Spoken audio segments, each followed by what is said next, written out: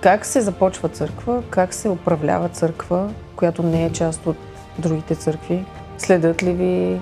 Отчитате ли се? Как, не знам, разкажи ми.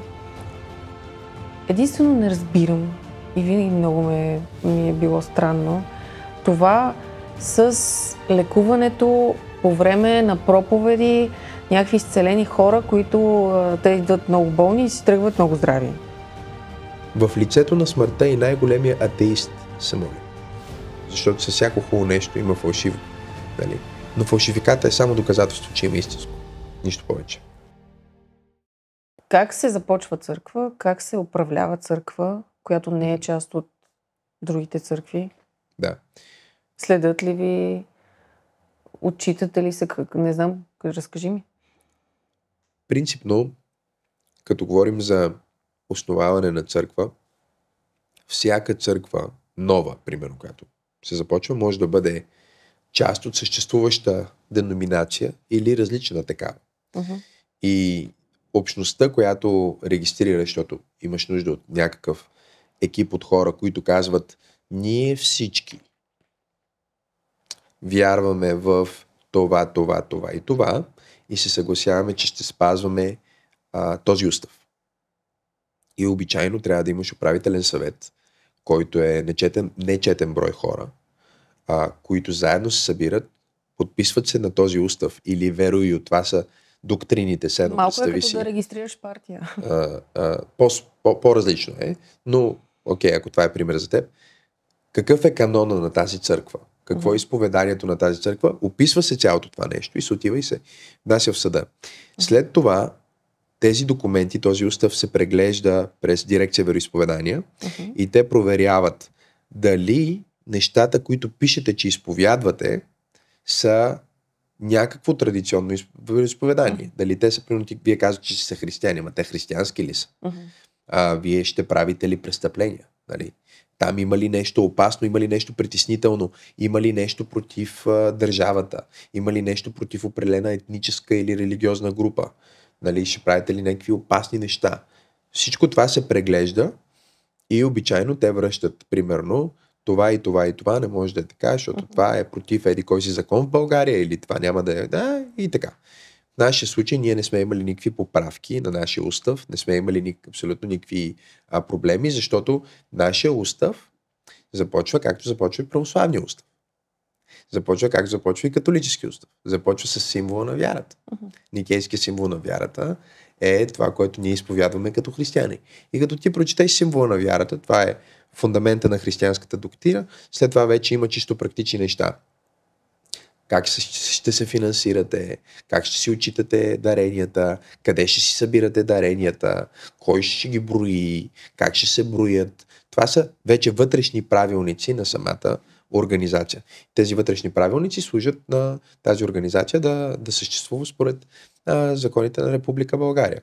Плащате ли данъци? А, ние плащаме а, ДДС, Нали? Примерно, ако купуваме продукт, който има ДДС, ние плащаме ДДС и това не ни се връща, както примерно нали, на, фирма. на фирмите можеш да го направиш, а, но имаме друг тип облегчения, като организация с идеална цел. Uh-huh. Други организации с идеална цел са фундациите, например. Тоест, прилича на начина по който финансите на една фундация, начина по който се управляват, прилича на начина по който се управляват финансите на една такава общност, с разликата, че фундацията, примерно, има председател и той може да има много по-голяма, ам, как да кажа, едно, еднолично управление. Нали? Примерно аз си създадох фундация за нещо и аз си управлявам парите и решавам правя това, правя другото, правя трето, докато с църквата нали, имаш този управителен съвет, нечетен брой хора, които а, заедно вземат по-важните решения за, а, примерно сега тръгнахме да купуваме тази сграда, всички трябва да се разпишем, че искаме, че ще го направим. Вземаме решение на управителен съвет, с което предприемаме конкретните действия. Или утре, ако ще се ръкополага или избира нов пастор, този управителен съвет се събира. Казва, а, примерно, Максим а, а, е направил нещо, което е против нашия устав, ние може, трябва mm-hmm. да го а, освободим, защото е против на тези, тези, тези ценности или е починал или нещо се е случило, дай се Боже, и се избира друг а, такъв пастор лидер. Така че, нали, не е толкова просто, защото аз сме, защото, примерно, някой а, ютубър казва, ама вие събирате дарения. И аз казвам, чакайте, значи ти си създаваш един YouTube канал, почваш да говориш каквото си искаш и казваш на хората, вземете си Patreon, купете си от мен това, а, правиш мерчендайз. Ти... Също искат дарения те. Искат дарения, да. да.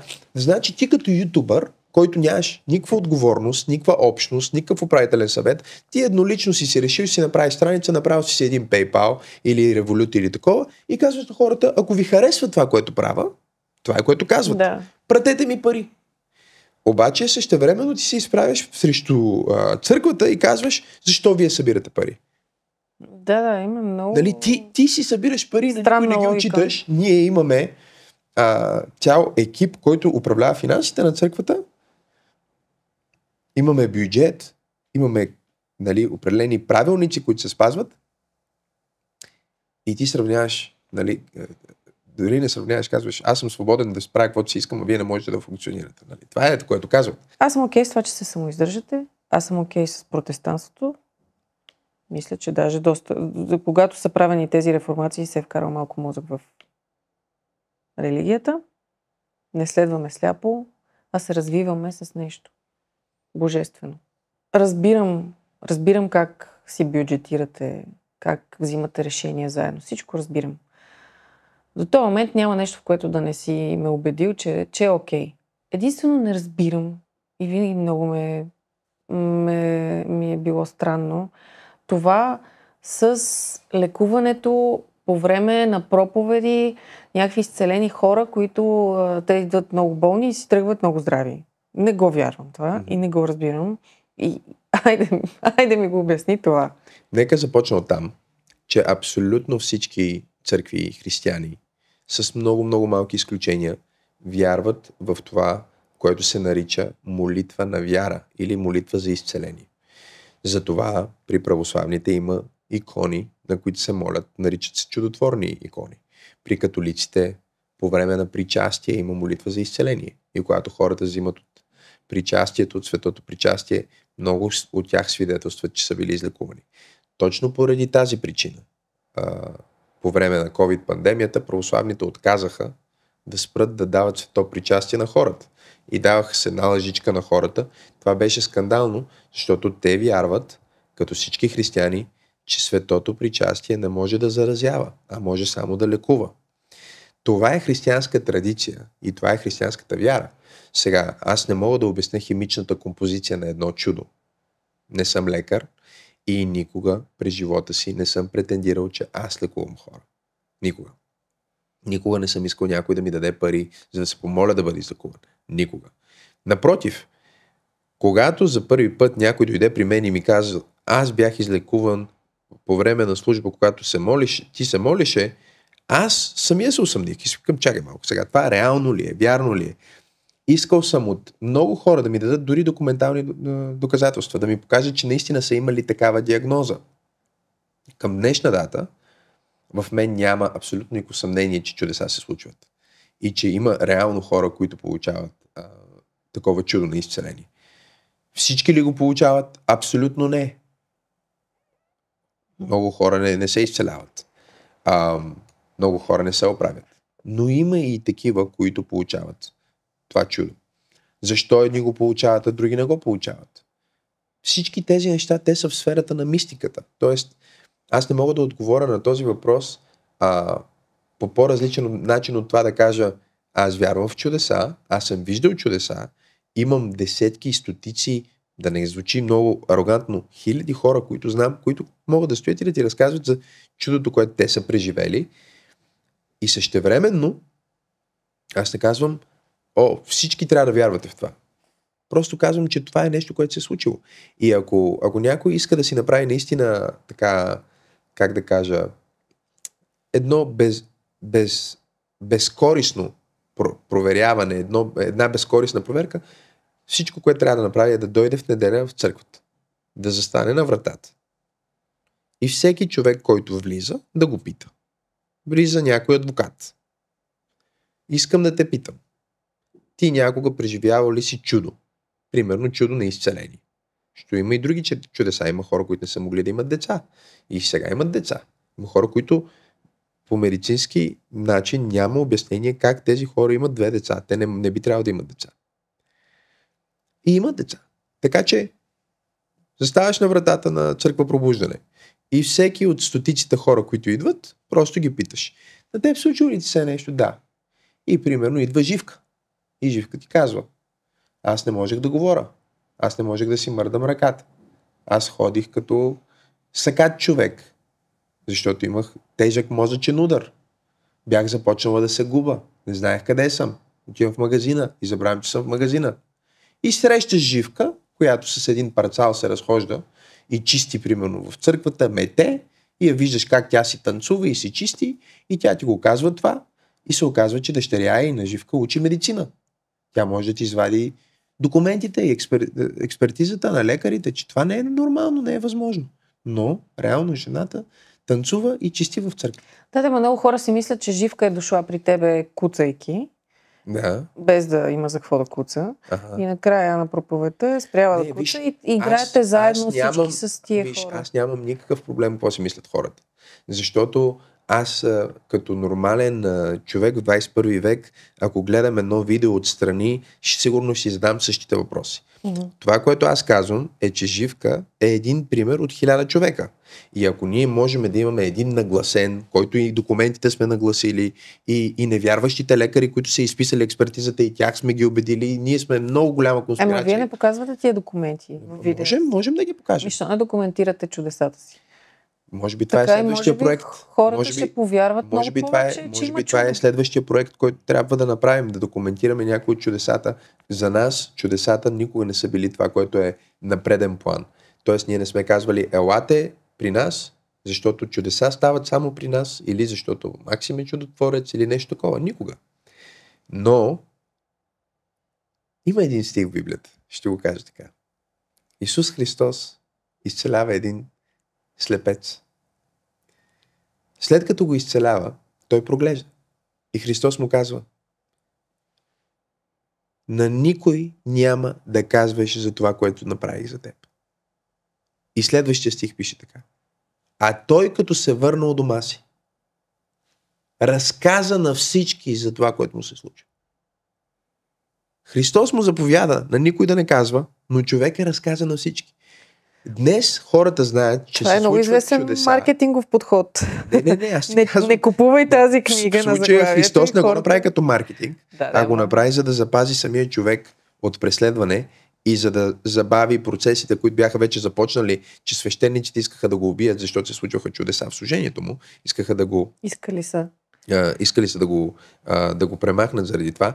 И всъщност, иск, искайки да забави процеса, Христос му е казал, ей, сега си изцелен, трай си. Трай си. Тоест, ние не ги караме хората, разгласи, разгласи, кажи на всички. Но те не могат да не го кажат. И дори да не го кажат, искам ти да си представиш следното нещо.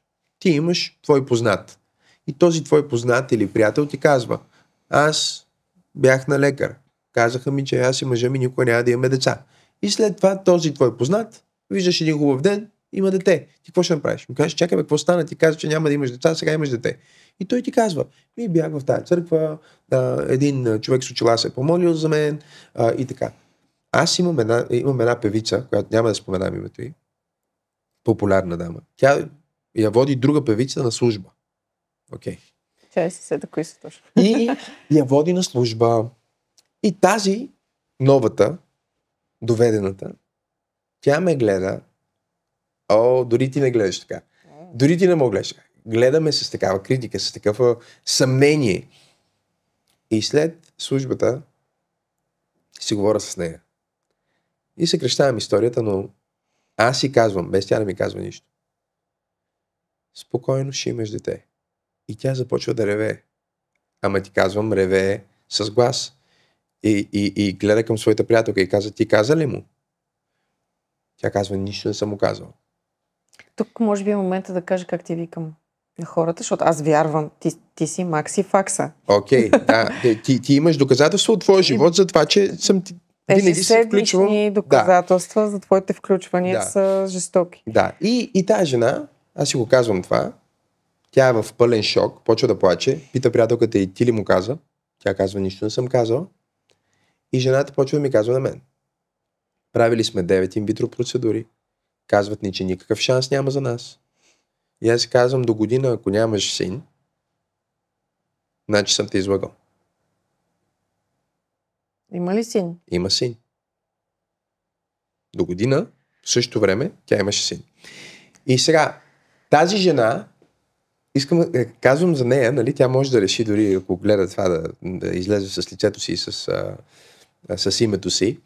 Но тази жена, оттам нататък, тя всичките и колеги, целият и оркестър, маникюристката и фризьорката и а, масажистката и а, всички, които я познават, те знаят, че това е най-голямата болка в живота и че това няма как да стане, защото тя е имала 9 инвитро процедури и тя е казала, че няма как да стане и лекарите си казали, че няма как да стане и в един момент тя е бременна. М. И какво знаят всички? Аз отидох, този пич ми каза, ще забременея, помоли се, забременях и сега ето, имаме дете. Много от тия хора изведнъж се оказват в църквата ми. Да, да, но не може да отречеш, че... Тя не е в църквата ми даже. Тя не продължи да... Тя, към днешна дата тя не идва на, на, на службите. Но тя праща хора до ден днешен, които знаят нейната история. Нейни близки и приятели. Сега, сметни го това по 100, по 200, по 300, по 500. Много хора по този начин чуват за това, което се случва. Нали? И аз винаги казвам, ако не вярваш, няма проблем. Ако си скептичен, няма проблем. Просто пробвай го. Пробвай го за себе си. Или питай някой твой близък. Или застани на вратата и питай всички, които влизат и ти ще чуеш най-невероятните истории. Истории, които понякога, Мария, когато аз ги чуя, аз се съмнявам. Има истории, които дори аз се съмнявам, истории, които аз не ги разказвам, защото просто не мога, не, не знам, от, идва ми тумач на мен. Виж как пак стигаме до много нелогично място. В, Да. в мисленето на хората. Да. Знаеш и масово хората, като имат проблем, къде ходят? Еми на магиосник, на врачка. На врачка. Да. И това е. И никой не ги съди за това, нали? Никой не ги съди. Аз, моите приятелки, всичките ходят по врачки. Астролози и врачки. Да. Никой не ходи на свещеник. А това е забранено в християнството и е опасно, Опасно е, разбира защото се. работиш с тъмната страна. Но И е глупаво а, ми се вижда. разбери това, че когато ние... Какво казват християните? Виж, виж как го обясних на един а, номинален православен християнин, който ми задаваше същите въпроси. И аз го питам така. Ти християнин ли си? Той казва да. И аз казвам, какво означава това, че ти си християнин? Той казва, че вярвам в Исус Христос. Аз му казвам, значи ти вярваш, че Бог, който е създал всичко видимо и невидимо, е станал човек. Вярваш ли в това? Той казва, да, вярвам. И, и вярваш, че е бил безгрешен. Защото те, за си християнин, трябва да вярваш, че е бил безгрешен. Вярвам. И аз му казвам, и вярваш, че е бил роден непорочно. И той казва, ми, ако съм християнин, сигурно трябва да го вярвам. И че на третия ден той е възкръснал от мъртвите. Бил е мъртъв и на третия ден е възкръснал. Той казва, да. И не вярваш, че той същия, в който ти вярваш, и аз вярвам, днес може да излекува някой, който е болен. И знаеш какво ми каза той? Може би го вярвам, но не вярвам, че може да стане чрез теб. И накрая всъщност опира до това Мария. Да. Не опира до това, вярваме ли, че може да стане чудо, защото ти отиваш при врачката. Не опира до това, вярваме ли, че Господ може. Вярваме ли, човека е духовно същество. Можеш да, да живели са в комунизъм нашите ро- роднини родители и въпреки това семето на вярата в повечето от тях не е напълно убито. Защо? Защото човек е духовно същество. Въпросът е, че ако стават чудеса, защо стават при този пастор? А защо не стават в моя, моята църква или по другия начин? Или, разбираш ли? Тоест, това е нещото, което обижда много често хората. Господ чрез кой избира да направи нещо. Но Е, добре, ако не се преобърне това нещо и не, хората вместо врачката не избират някой съкъла си, който вярва, силата на вярата. Никой не я отрича силата на вярата. А, какво ще стане с нас като хора, ако продължим по този път? Виж, има два начина по които Господ работи с нас. Единият е доброволно и затова се нарича благовестие. Проповядването се нарича благовестване. Даване на добри новини. Добрата новина е, че имаме достъп до Господ чрез вяра в Исус Христос. Другия начин, по който Бог работи, е недоброволно. Тоест, опрян си в стената и почваш да се молиш и тогава почваш да вярваш в чудеса. Има и такива хора. Има хора, които стигат до нас, след като са казвали не вярвам, след като са казвали това е фалш, това е измишлотина, обаче вече са на финала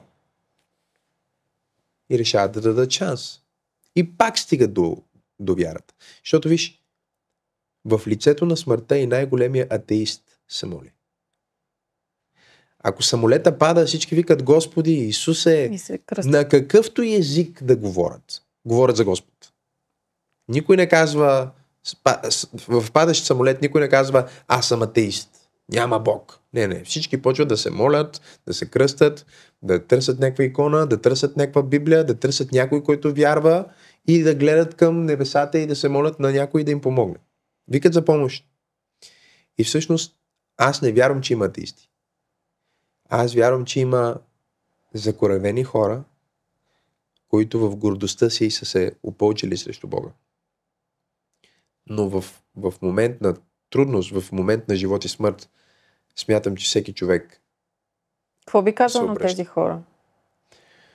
Ами бих им казал да не чакат а, трагедията, за да потърсят Господ. Бих им казал да го търсят и да го намерят в ежедневието си, да го намерят в, в това, че са се събудили, в, в, в, погледа на детето им, в, в приятелството, което имат с някой. Да намерят, че Господ е направил така да са живи. Добре, а за злоупотребата с чудеса какво имаш да кажеш? Защото има много такива. Ние виждаме видеа mm-hmm. кои, а, от вашата църква, също пускате mm-hmm. видеа, които нали, докосваш някой и той вече се чувства добре. Mm-hmm. А, виждаме и доста по-страшни mm-hmm. неща, които бих нарекла панери даже, а, с треперещи, mm-hmm. падащи хора. Mm-hmm. И смятам, че има злоупотреба с това обещание за чудо. Mm-hmm. И как ти би я преборил, за да може хората наистина да, да се отпуснат и да знаят, че има чудеса. Така, така ще има повече чудеса, реално, нали? Да. Ако повече ами, хора вярват в тях. Аз мисля, че много често презентацията а, или начина по който едно нещо се показва, снима, комуникира, може да отблъсне хората или да ги привлече. И съм убеден, че има и добронамерени хора, които а, качват неща, които просто не трябва да се качват или не трябва да се споделят. Има си причина в определени мистични моменти в църквите, дори не се снима. Не е добре да се снима. Защото може да се случи нещо странно. И виж, хората сме, хората сме много а, интересни, защото когато ние преживеем нещо много а, духовно или мистично, всички реагираме по различен начин. Един почва да се смее, друг започва да плаче, нали, някой пада на колене, някой пада на земята. Случват се такива неща, които те са свързани с начина по който човешкото същество а, откликва на това, което се случва. Според мен със сигурност има хора, които а, нали, използвайки а, психология, автосугестия, а, могат да, да из, изценират неща, само за да могат да внушат, че нещо се случва. А, или за да се обогатят, или за да направят нещо и злоупотребяват с тази чиста вяра на хората. А, но, но не смятам, че са толкова много. Мисля, че по-голямата си част проблема е презентирането. Ето какъв пример ще ти дам. А, казах ти по-рано, че обичам Ориенталската православна църква. Mm-hmm. Това са коптите и още няколко, те се наричат ориенталски православни, имаше един а, отец, отец а, Захараяс, се казва. Фадър Захараяс. Този отец на неговите служби, когато се моли за хората, има видеа в интернет, хората могат да влязат и да видят. Когато ги помазва, като свещеник, като православен, както се помазва миропомазване, и хората падат. Всеки, на който слага ръката, и хората падат на земята. И това е много трудно за вярване, че не, не, се случва аз, наистина.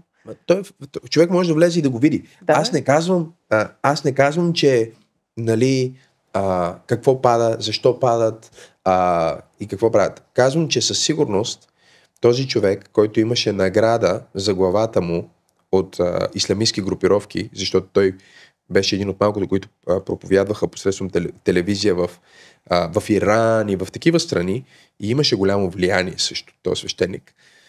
Той имаше награда за, за главата му, имаше заплаха за живота му и той проповядваше въпреки това. Така че аз не вярвам, че човек като него а, прави чудеса за някаква лична облага. Напротив, чудесата му костваха заплахи, ще го убият и така нататък.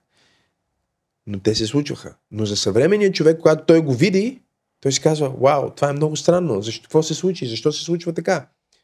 Не знам, аз нямам обяснението за това. Може би това, което трябва да направим е да питаме човека, който го е преживял, ти защо, какво стана с теб? Какво реагира? Какво преживя? Нали, защо се разплака? Или защо падна? Или защо...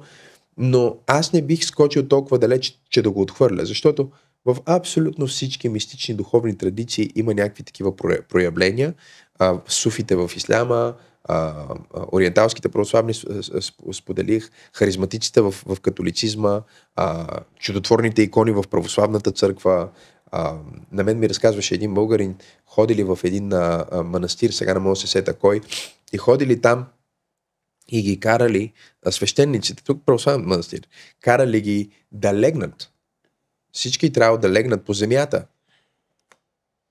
Лягат на земята и след това се, е имало там нали, служител, който се е молил за тях и им е казвал някакви неща, които ще им се случат, като пророчества. И си казваш, вау, това звучи като холивудски филм. Нали? И аз си мисля, че може би... Даже като боливудски малко. Хората са толкова гладни за свръхестественото, за нещо а, паранормално. Да, но не го приемат от църквата. Защо? Ами, не знам дали това не е всъщност работата и на дявола, да убеди хората, че свръхестественото е навсякъде другаде. При врачките, в филмите, в кината, навсякъде другаде е окей, ако видиш свръхестествено. Но в църквата, не знам дали, напълно откровен съм, това може да е добър въпрос и за някой православен свещеник да каже. Дали не е всъщност работа на дявола да убеди хората, че навсякъде другаде може да се случи нещо, но не и в църквата. А всъщност църквата е място на, на, на чудеса. И, и аз не казвам, че а, няма злоупотреби, защото със всяко хубаво нещо има фалшиво. Нали? Но фалшификата е само доказателство, че има истинско. Нищо повече.